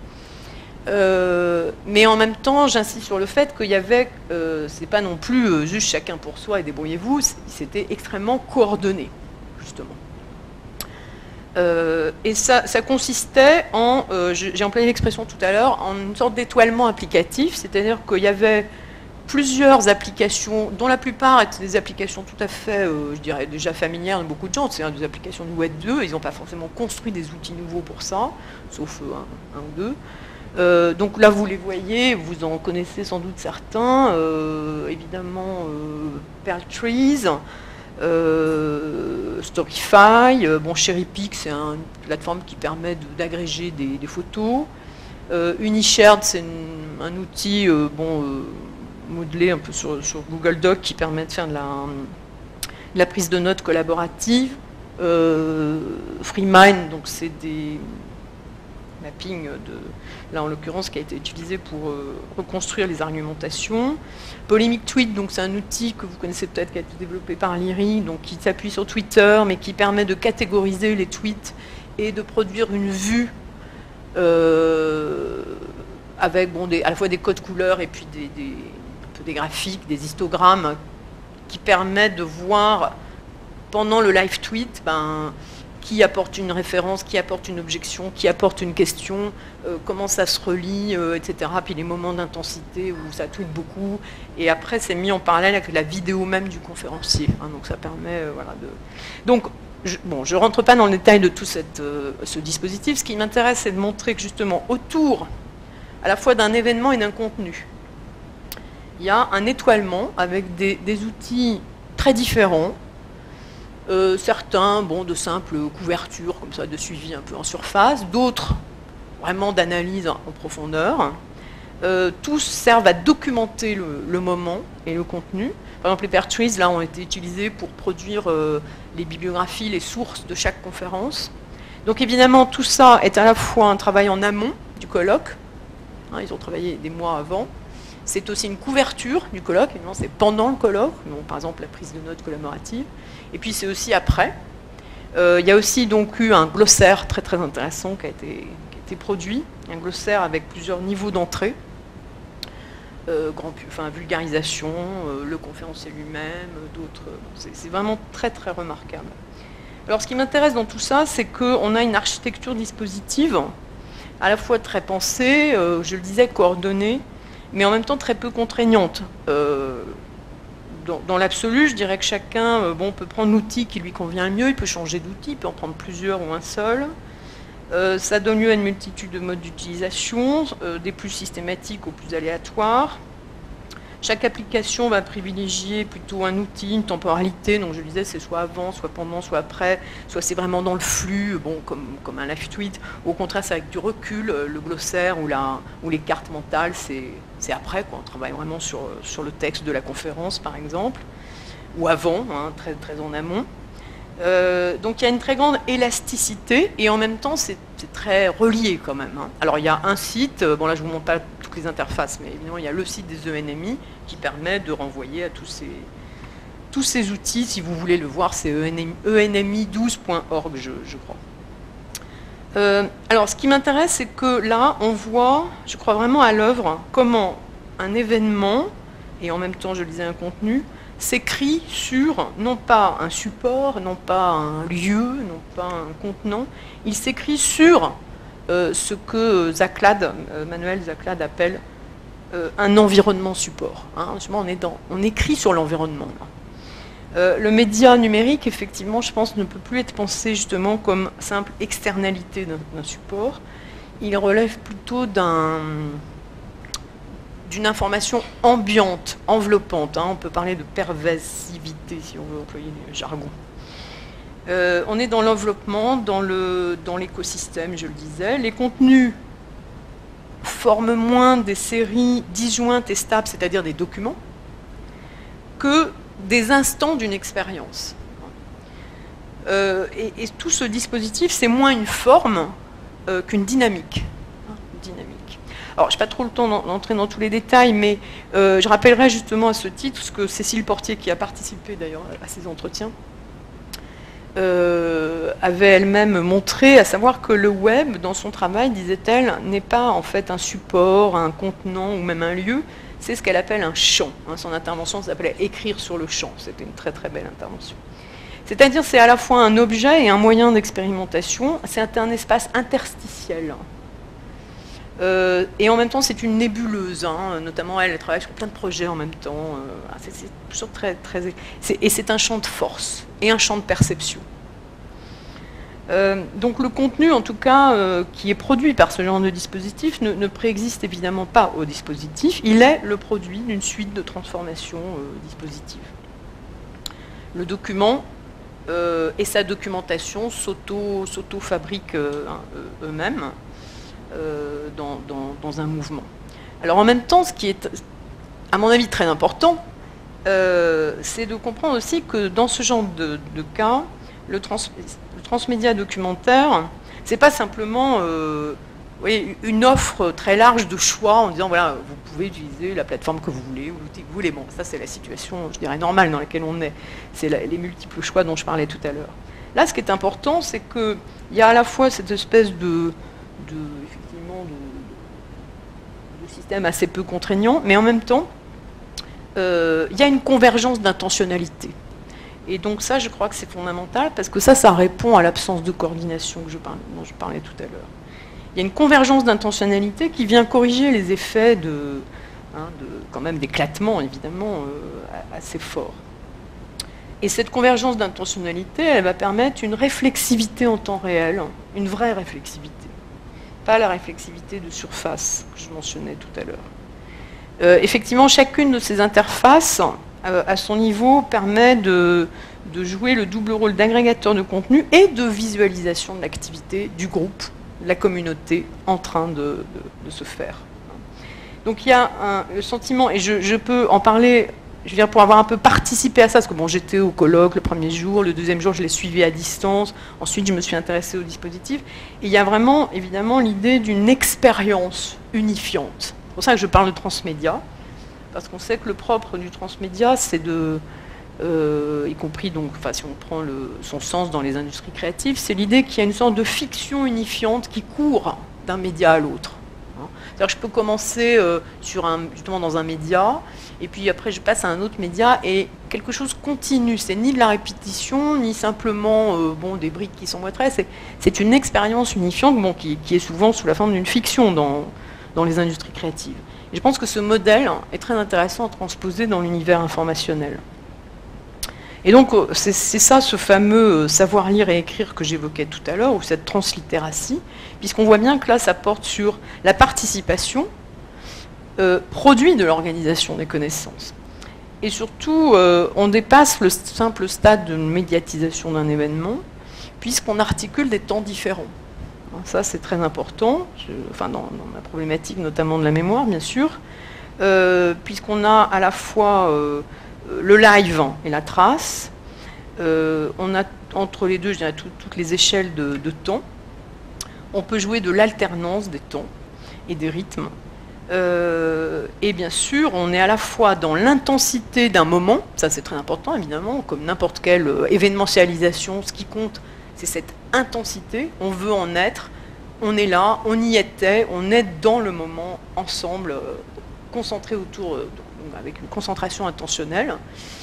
Bon, ça c'est courant, je dirais, hein, ça existe évidemment ailleurs, mais là, ce que ça ajoute, c'est qu'il y a à la fois ça et aussi la possibilité, au contraire, d'accès, d'usage, de pratique désynchronisée. désynchronisée. Et les deux sont reliés.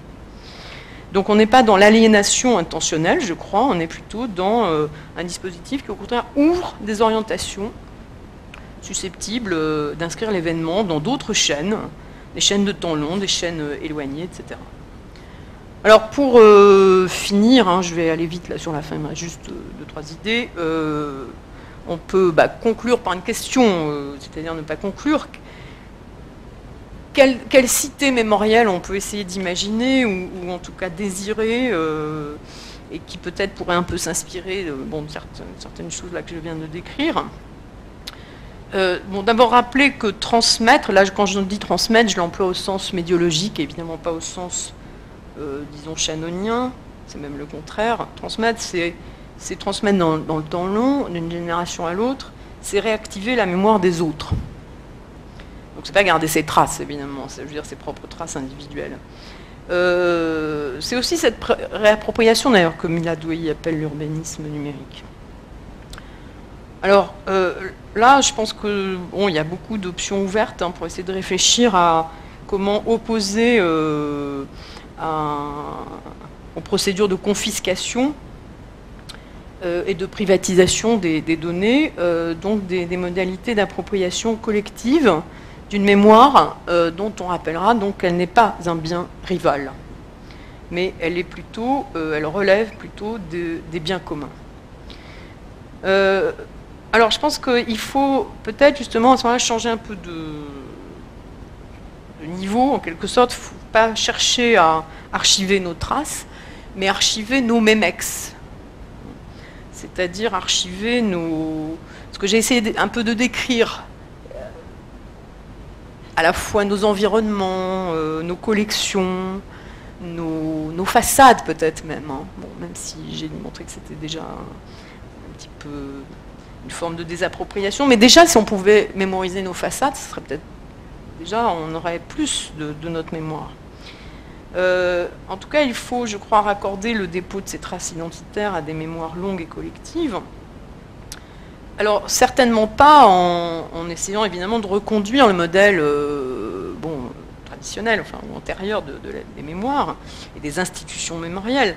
Certainement pas en déposant ces mémoires euh, dans, des, dans des lieux euh, clos, centralisés, verticalisés, avec une administration mémorielle descendante. Ça, évidemment, je pense qu'on ne reviendra pas vers ça, et il n'y a pas de raison de, le regretter, je pense. Bon, certains, comme Franck Cormeret, a écrit des choses très intéressantes sur la mémothèque, hein, justement en réfléchissant sur qu'est-ce que devraient être les mémothèques de, de demain. Bon, pour moi, il est clair qu'il faut, il faut passer un nouveau régime de la mémoire qui réclame une nouvelle euh, organologie, dont j'ai commencé à décrire un tout petit peu peut-être des, pistes, c'est-à-dire une nouvelle euh, articulation entre rétention, savoir et interaction, qui évidemment doit être, euh, je pense, beaucoup plus mêlée qu'elles ne sont aujourd'hui. Et qu'il était évidemment justement dans le modèle ancien. Hein, mémoriser, c'était toujours aussi organiser des connaissances. Alors, c'est la question des médiations, bien sûr, de nos, documentarisations. Euh, j'en ai évoqué très très vite quelques-unes avec l'exemple des, entretiens du nouveau monde industriel. Euh, on sait que la puissance publique souvent bon, est très en retard là-dessus. Hein. on peut mentionner le projet très, exemplaire à tout point de vue que beaucoup connaissent projet Photo Normandie de Patrick Pécat sur Flickr, qui est un des premiers projets euh, vraiment de justement d'une pensée de la redocumentarisation et de l'alliance entre des archives publiques et une activité d'internaute euh, de, folksonomie en fait. Euh, bon, je ne reviens pas sur le projet, mais ce qui est frappant, c'est que les archives publiques n'ont pas du tout participé à la chose, qu'en fait, Ils sont totalement désintéressés de ce projet, ce qui est quand même très très révélateur. Alors, je termine par un dernier exemple qui, me permet d'évoquer un peu une autre casquette, on va dire, que je, porte aussi. C'est l'intérêt que je porte à l'archivage du web. C'est-à-dire pas seulement bah, le web comme lieu où des choses s'archivent, mais l'archivage du web, et plus particulièrement le dépôt légal du web. Euh, il est évident que, bon, à travers les, travaux que j'ai pu faire autour de ça, parce que j'anime l'atelier à l'INA sur, sur ces questions, euh, Bon, et donc j'ai rencontré pas mal de gens qui, réfléchissent ou qui travaillent là-dessus. Euh, tout le monde convient qu'on va vers euh, des archives dynamiques. Hein. archiver le web, évidemment, euh, ne peut se faire qu'avec une archive elle-même dynamique, où la mémorisation est pensée comme réactivation de traces, où le sens n'est jamais interne au document, puisque le document lui-même est complètement désagrégé. Euh, mais le sens est recréé hein, par l'activation des, traces. Euh, donc c'est typiquement une question euh, soulevée plus précisément par ces différentes politiques d'archivage du web, où on voit bien que, si vous voulez, quand on archive le web, ça veut dire qu'il va falloir archiver des mises à jour successives hein, des sites.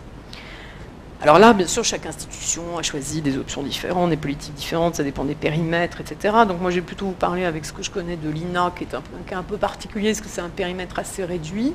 C'est uniquement le web lié à l'audiovisuel. et c'est aussi donc des contenus un peu particuliers, puisque par définition, il y a beaucoup de vidéos. Euh, et là, ils ont pris des, options très intéressantes, avec vraiment un système de captation extrêmement rapproché, et en même temps adapté, c'est-à-dire que je sais pas, un site comme euh, la page d'accueil de TF1, euh, bah, je sais pas, ça change toutes les. Bon, j'en sais rien, mais enfin, toutes les 20 minutes, quoi, ou en tout cas toutes les heures certainement. Des changements minimes ou des changements importants, puis évidemment il y a d'autres sites euh, qui, évolueront beaucoup moins rapidement.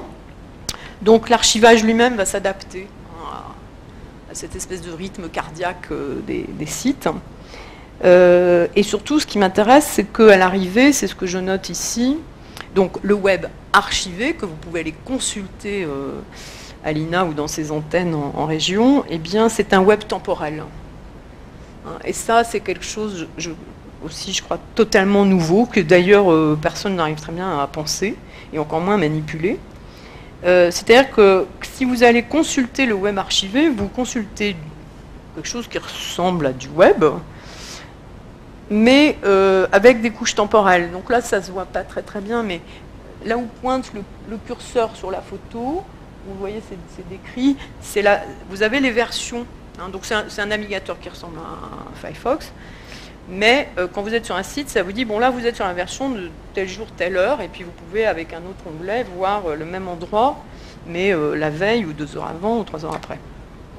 Et donc on navigue euh, dans les deux dimensions, ce qui est très troublant, évidemment, et qui ouvre des tas de questions vertigineuses. Mais en tout cas, pour l'instant, ce qui m'intéresse, c'est que ce web temporel, évidemment, change complètement notre représentation justement de cet environnement euh, numérique. Euh, ça, nous permet évidemment de mettre à, distance ou de casser cette impression de, présent permanent. Et surtout, ça nous montre aussi qu'on euh, est dans quelque chose qui n'est pas du tout la restitution du web vivant. Parce qu'évidemment, sans doute, n'est jamais le, but d'un archivage, hein, finalement. Ce n'est pas un double, c'est vraiment une recréation. Alors, ça soulève quantité de questions, mais par exemple, pour l'usager de ce web archivé, donc d'abord, euh, ce sont les chercheurs qui sont visés, euh, qui sont attendus par cette archive, euh, bah, ça, veut dire que si vous allez travailler sur du web archivé, parce que vous êtes historien, parce que vous êtes chercheur en infocom, peu importe, il va vous falloir construire un corpus, bon, là rien de nouveau, mais pour construire votre corpus, il va falloir d'abord bon, délimiter euh, sur quelles URL vous voulez travailler, ça, là aussi rien de nouveau, mais il va falloir aussi délimiter sur quelle version de ces URL vous voulez travailler. Et là, vous voyez qu'il y a une deuxième couche euh, avec une double construction, et donc chaque extraction euh, va produire un nouvel agencement des, éléments, va produire un web qui n'a jamais existé, au fait. Et je pense que ce, détour que je fais, vous voyez là, par ces questions assez spécifiques à l'archivage du web, je pense son nature à éclairer aussi, euh, en, retour, euh, bah, l'expérience que nous avons du, web vivant lui-même. Et je termine par cette dernière image. Donc sur cette notion d'écosystème, euh, pour mettre en avant la, question donc, de la profondeur, donc qui est très, très clairement posé, encore une fois, par l'archivage du web. On se demande tout le temps, si vous voulez, à la fois comment découper les unités, quelle est l'unité documentaire du, web archive? Bon, pour l'instant, la plupart euh, ont choisi l'URL. Mais même ça, euh, c'est déjà incertain, en fait. et puis, en fait, ça ne suffit pas, évidemment, à répondre à toutes les questions. La question qui vient ensuite, c'est quelle profondeur? C'est-à-dire que dans le web archivé, euh, quelle profondeur on peut proposer à l'utilisateur de cette archive? C'est-à-dire combien de clics il va pouvoir faire hein, à partir d'un site archivé pour aller voir les liens, c'est-à-dire son environnement, son écosystème.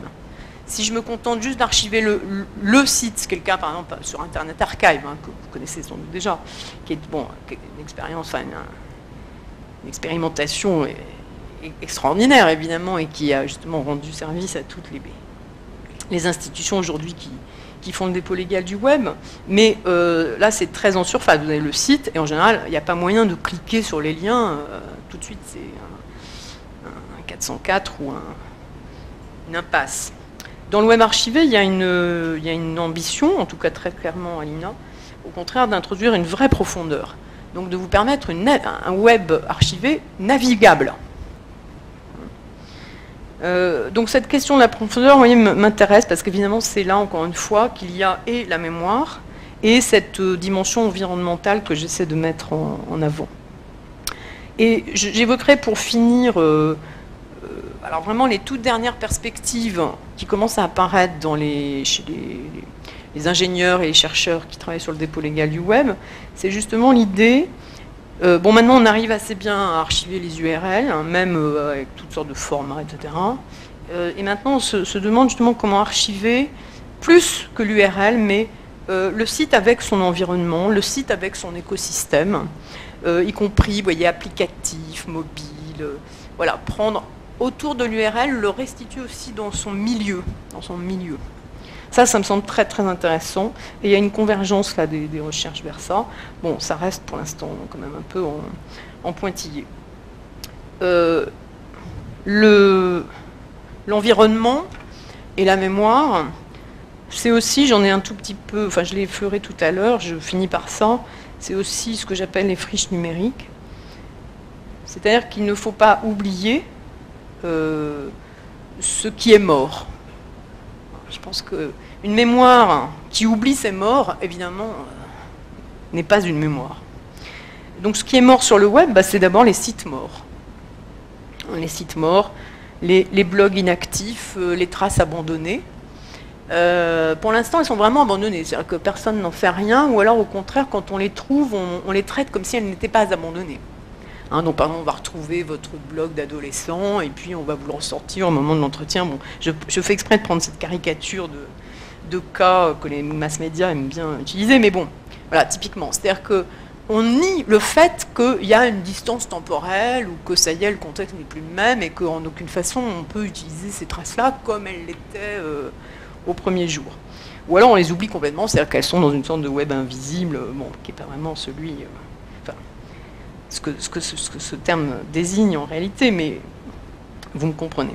Alors je pense qu'il faut intégrer donc dans cette euh, pensée mémorielle euh, du web et de nos usages et de nos partages, donc ce qu'on peut appeler des friches numériques, euh, c'est-à-dire des traces désactivées par l'usage, mais qui peuvent être encore conservées et accessibles, exactement comme dans notre vie, il y a des lieux, voilà, des lieux d'abandon, mais qui ne sont pas forcément abandonnés eux-mêmes. Euh, et qui mérite une mise en mémoire beaucoup moins aléatoire que, que ça n'est le cas aujourd'hui. Parce que de toute façon, c'est dans les pratiques. Hein, pareil, moi, j'ai commencé à réfléchir là-dessus en regardant les usages des, des adolescents euh, sur, euh, avec leur blog Skyblog, hein, qui, comme ils sont dans une période de vie où ils muent très rapidement, en fait, hein, ils ont plein de, de mues existentielles, bah, souvent, hop, ils, quand ils changent d'âge, de copains, de lieux peut-être de vie, ils abandonnent leur blog, ils en ouvrent un autre. Et ça pose aucun problème pour eux. par rapport à l'usage, c'est extrêmement clair. Ça ne les gêne pas que le blog il reste en ligne. Mais en même temps, euh, souvent, c'est tous les autres qui ne comprennent pas cette démarche. Il faut respecter cet abandon. Et en même temps, évidemment, c'est une richesse finalement, toute cette mémoire qui se, qui se dépose. Voilà, donc euh, une diapo de, de fin, enfin de vraiment conclusion, parce que j'ai été beaucoup trop long. Juste pour rappeler donc que tout ça va vers euh, ce que j'appelle les biens communs. C'est-à-dire, je pense qu'à la marchandisation des identités, euh, seul peut répondre une restructuration des mémoires comme bien commun. Euh, je pense que c'est aussi une des conditions de la confiance numérique après laquelle tout le monde court, beaucoup plus que la sécurité, même si ça ne veut pas dire qu'il faut renoncer à la sécurité, bien sûr. Euh, et, cette mémoire euh, repensée enfin comme bien commun, évidemment, n'est pas un trésor conservé quelque part, mais un jeu d'activation, et en particulier, j'essaie de montrer, de redocumentarisation. C'est-à-dire que c'est une mémoire, euh, alors réseau, mais réseau au sens, un réseau qu'on peut emprunter, qu'on peut parcourir. Et bien sûr, ça implique aussi, ça sera mon dernier mot, que l'oubli, ce fameux oubli qu'on réclame aujourd'hui ne doit aucunement être euh, pensé uniquement et même réglementé uniquement comme un oubli qui protège l'individu, les fameuses données personnelles, mais un oubli qui protège la communauté. Ce qui, je vous le rappelle, était le cas, est toujours le cas, théoriquement, de l'amnistie. L'amnistie, c'est la collectivité qui décide d'oublier, évidemment c'est un oubli très particulier, hein, mais qui décide d'oublier quelque chose pour sauver la communauté. Hein, et qui va justement souvent à l'encontre des individus, à ce moment-là, des victimes. Alors c'est peut-être ce que Antoinette Rouvroy appelle le, métadroit à l'oubli. Hein, un texte très beau aussi là-dessus, sur une sorte de voilà, métadroit à l'oubli, c'est pas juste oubli. Avoir le droit d'effacer mes traces, c'est un droit fondamental, collectif, évidemment citoyen si on veut, euh, à l'oubli. Voilà, je vous remercie.